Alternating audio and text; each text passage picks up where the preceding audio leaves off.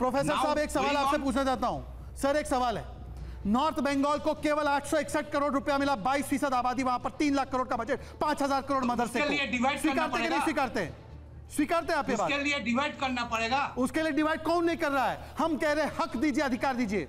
आप साथ में खिलाफ हक तो सब लोग देखिए लेफ़्ट टीएमसी तो- के साथ है। हम लोग तो लेफ़्ट टीएमसी के साथ है।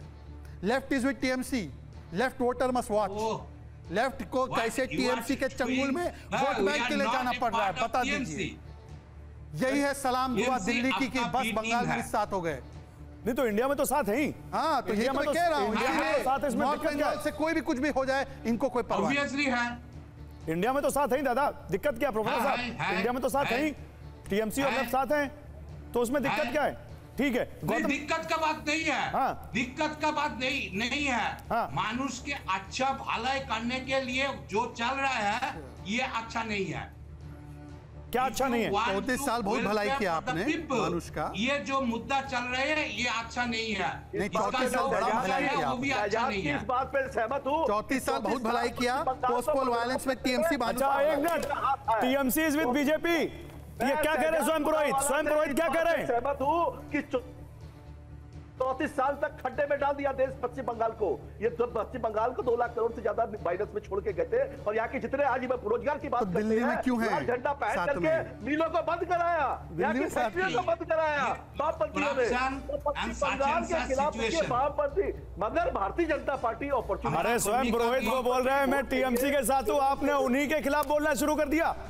वो बोल रहे हैं मैं टीएमसी के साथ हूँ. नहीं नहीं टीएमसी के साथ की बात कर रहा हूँ। हाँ। मैं 2000 इंडिया गुट में साथ ही। इंडिया गुट में साथी दादा। इस साल ज्योति हाँ, बसु ने जो जंग लगाई ज्योति बाबू ने जो जंग लगाई पश्चिम बंगाल के अंदर में हाँ। उस जंग से उबारने का काम हमारी दीदी कर रही है। अच्छा एक अच्छा आप तीनों तीनों तीनों पॉलिटिकल पार्टी रुकिए। एक मिनट आपसे अपील है। एक मिनट रुकिए। एक मिनट रुकिए। हाँ आप दोनों कभी किसी मुद्दे पर एक दूसरे के साथ है कोई एक दूसरे के साथ है। लेकिन दादा गौतम दादा क्या यही असली बंगाल की पिक्चर है? जहाँ मुद्दे हो तो आप दिल्ली में एक साथ आ जाइए और जहाँ आप स्टेट की पॉलिटिक्स में हो तो कोई रामनवमी कोई फिर वहाँ पर मुस्लिमों की बात करे कोई अल्पसंख्यकों की बात करे कोई बात करे सीपीएम चाय बेगानों की कोई बात करे एम्प्लॉयमेंट की।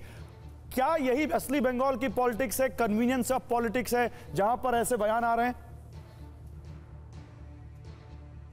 निश्चित तौर पे बंगाल में जो पॉलिटिक्स है उसके साथ इंडिया नेशनल लेवल पॉलिटिक्स का कोई संपर्क नहीं है। उसमें तो, आप देखा होगा इसका पहले भी देखा होगा आपने यूपीए वन यूपीए टू में दोनों में ममता या वामपंथी कांग्रेस के खिलाफ थे लेकिन बाद में साथ में आए छोड़ भी दिया था साथ दोनों ही छोड़ दिया। ये चलता रहता है लेकिन ये जो इशू है इस इशू में मेरे ख्याल में दक्षिण बंगाल में जो भाजपा का नेता है आ, उसका राय लेना ज़रूरी है। मुझे लगता है कि वो इसमें सहमत नहीं हो। नहीं नहीं इसमें सहमत नहीं है और इसका इसका मैं एक रीजन बताता हूँ। अगर वो विष्णु विष्णु शर्मा जी की अगर बाइट रेडी हो तो मुझे बताइएगा। पीसीआर वो पश्चिम बंगाल में बीजेपी के विधायक हैं और उन्होंने सुकांता मजूमदार के इसी बयान पर सवाल उठा दिया है। वो बयान अगर रेडियो बाइट सुनाइए जरा जो कह रहे हैं विष्णु शर्मा जी सुनाइए जरा। देखिए, पहली बात तो ये एक यूटोपियन थॉट है, कभी पूरा ही नहीं होगा। एक राज्य में रहते हुए आधा राज्य कभी भी परिषद का हिस्सा नहीं बन सकता है काउंसिल का हिस्सा नहीं बन सकता है। दूसरी बात, उन्होंने ये 24 का जो रिज़ल्ट था, इसको देख के 26 में उत्तर बंगाल में उनको थोड़ा टेंशन हुआ।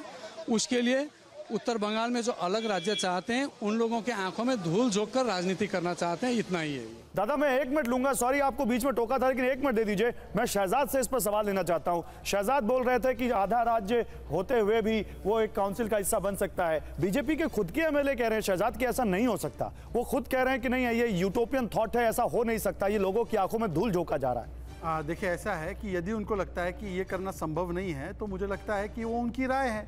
ये कमिटी को जिसको सौंपा गया है ये भी उनकी राय हो गई। नहीं, अभी आप निशिकांत दुबे की राय को उनकी राय बता रहे थे। आप बीजेपी के एमएलए को आप उनकी राय बता रहे हैं एक सेकंड एक सेकंड। अच्छा उनकी राय है भी। तो है तो बीजेपी में की राय ना मैं ये आपको बता देता हूँ बहुत क्लियर है। हमारी राय ये है कि नॉर्थ बंगाल के साथ जो है एक प्रकार से भेदभाव हो रहा है उनको फंडामेंटल मैंने आपको तीन चार बार प्रूफ कर दिया। उसको न्याय मिलना चाहिए। अलग अलग तरीके हैं केंद्र का फंड मिल सकता है कैसे मिल सकता है नॉर्थ ईस्ट काउंसिल से मिल सकता है। तो एक प्रपोजल आया कि इसमें इंक्लूड करो। काउंसिल मना कर देगा अगर नहीं हो सकता है तो।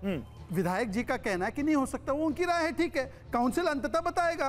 परंतु मेरा सवाल यह है कि विभाजन के खिलाफ अगर है तो अमृतपाल ने जो मेरा सवाल कुछ और है शहजाद। मेरा सवाल सवाल का जवाब नहीं है। नहीं नहीं उस अमृतपाल एक सवाल का जवाब नहीं, नहीं। खालिस खालिस्तान का समर्थन तो इस देश का कोई देशभक्त पूछ लीजिए पूछ लीजिए चन्नी के साथ खिलाफ। नहीं वो बोलेंगे। नहीं मेरा सवाल तो सुन लीजिए।